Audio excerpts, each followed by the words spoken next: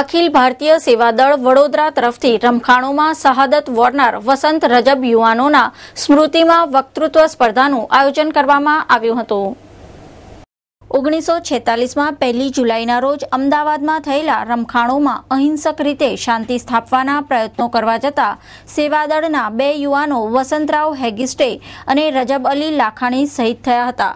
આ શહાદત દરેકના માટે પ્રેરણારૂપ હોય તેઓની સ્મૃતિમાં અખિલ ભારતીય સેવાદળે વડોદરા તરફથી ધોરણ નવ, દસના વડોદરાના શહેર જિલ્લાના શાળાના વિદ્યાર્થીઓને વસંત રજબ શિલ્ડ સ્પર્ધાનું આયોજન સરદાર ભવન ખાતે કરવામાં આવ્યું હતું, જેમાં પાંત્રીસ જેટલા વિદ્યાર્થીઓએ ભાગ લીધો હતો.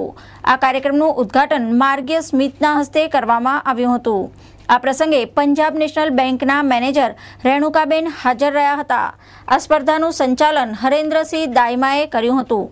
આ પ્રસંગે બળદેવભાઈ બારોટ, પ્રોફેસર વિરંચીભાઈ ત્રિવેદી, મનહરભાઈ શાહ, પ્રભાબેન ત્રિવેદી, ચંદ્રિકાબેન પંડ્યા ઉપસ્થિત રહ્યા હતા.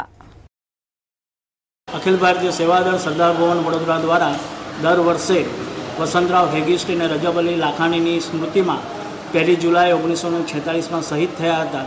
તેઓની યાદમાં દર વર્ષે માધ્યમિક સ્કૂલના વિદ્યાર્થીઓની વક્તૃત્વ સ્પર્ધા યોજવામાં આવે છે અને પહેલી ઓગસ્ટ અખિલ ભારતીય સેવા દળ સ્થાપના પણ દિવસ છે.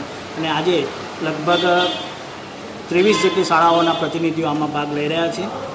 અને એ રીતે આ સ્પર્ધા માધ્યમિક શાળાઓના વિદ્યાર્થીઓ માટે યોજવામાં આવી છે.